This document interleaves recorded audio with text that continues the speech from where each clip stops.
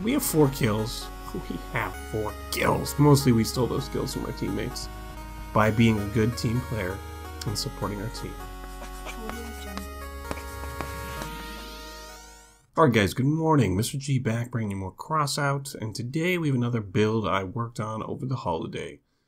We've got the Reaper Heavy. Um, this thing, as you can see, uses the chassis that we used on Big Momma, which is internally mounted steering wheels, large, in front and back, uh, which raise the hardened tracks off the ground. So the hardened tracks just add tonnage and armor at this point, and we're able to still turn on a dime um, and then we've got the Reapers on the top. Um, I played around yesterday with mounting them on the side, um, you know, so that you don't lose them both from cannon strikes to the center. I didn't like it. I just I tried to play it, but it was too hard to get both guns on target all the time, and I just I didn't like it. They threw a fit. I didn't like it. So what do we got in here? We got Apollo, uh, which we didn't mount under the frame.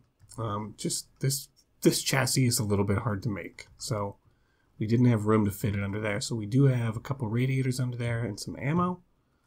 We've got a chameleon, and we went with the hot red.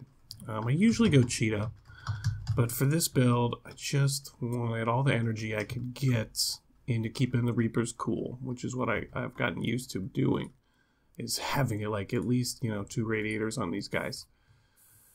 So that's what we did, and let's test it out. And the speed, you know, we don't get the recharge bonus on the cloak that I like from the cheetah. But uh, we got 800 rounds in this thing. And like you can see, just like Big Momma, those hardened tracks are not touching.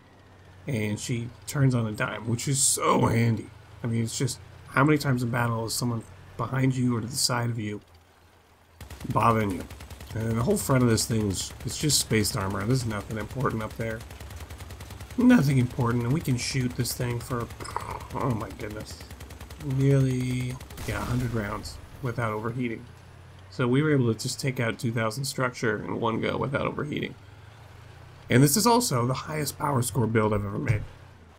It is coming in at 12,346. I think I actually had it up to 12,500.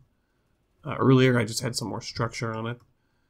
But uh, we went with some more vanity items here. So we got the reputation bonus up to 23% on this one. Not quite max, but close. Let's test her out in battle. Alright guys, here we go. We gotta stick with the team and do support. Mid-range support. Cloak and shoot. You got this, Mr. G. You got this. Pay attention. You've had your coffee. Check your radar. Oh, my cloaking time. Oh, this guy's already down. He's toast. Let's see if we can take out Mr. Hoverboy. I just feel like that's a Reaper job, to take out Hover. We can put put the hurt out. Spread it around and hit moving targets. It's like anti-aircraft guns. Of course, Reapers are also great at anti-everything guns. Sticking with the team, though. This team knows what they're doing, maybe. It's a cool, it's like a Hummer. It's a little Hummer.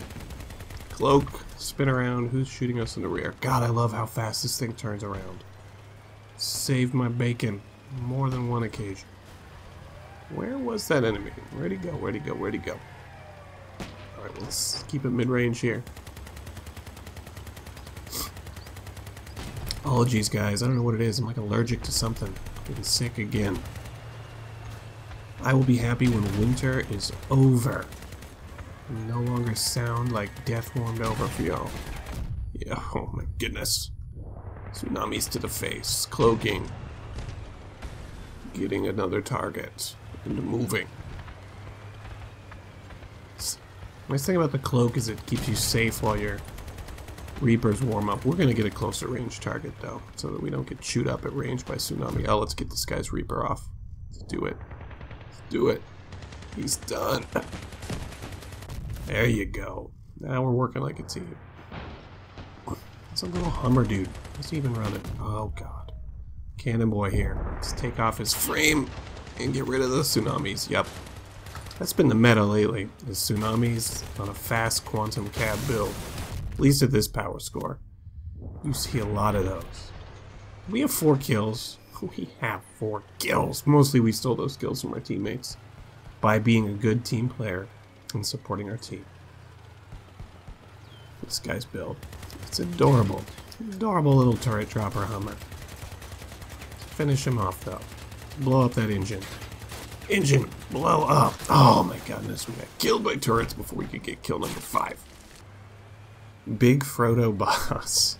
I love this guy's guy. This guy's got a very heavy build for running two little boys. He's got something else under the hood, I don't. Alright guys. Looks like our team is going to evenly spread out this time. Yeah, so I've tried the legs. and this guy's got spaced armor and spider legs going. The step spider, but it's just feels like wheels are just better.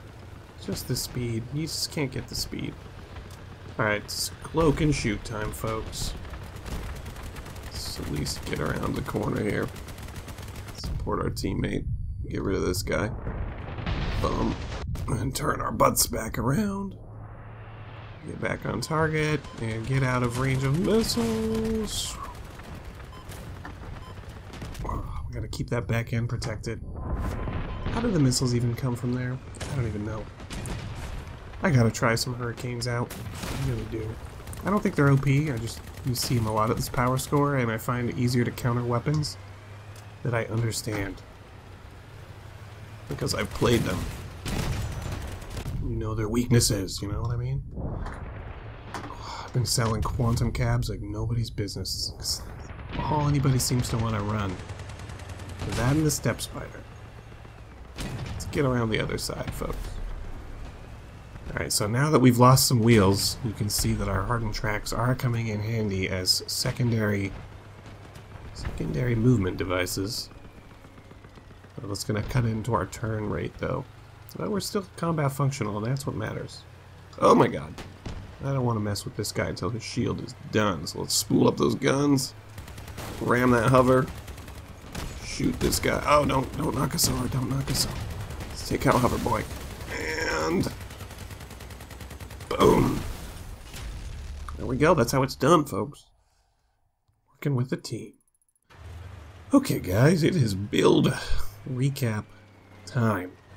Once again, just like the Big Momma, pros of this build. Turn rate. Uh, pro is also structure at 2,445. Whole pile of structure. Cons, uh, Reapers mounted together so that they can both be taken out by cannon blasts. Getting degunned. Overall size is big.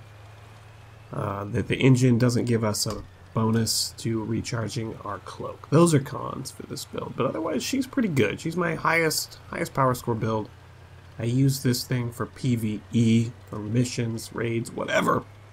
I like her. Let me know what you guys think in the comments. Uh, show me what you're building on our Discord. See that in the channel description. And that's it for today. Throw us a sub, throw us a like. I make these things every day. Mr. G out.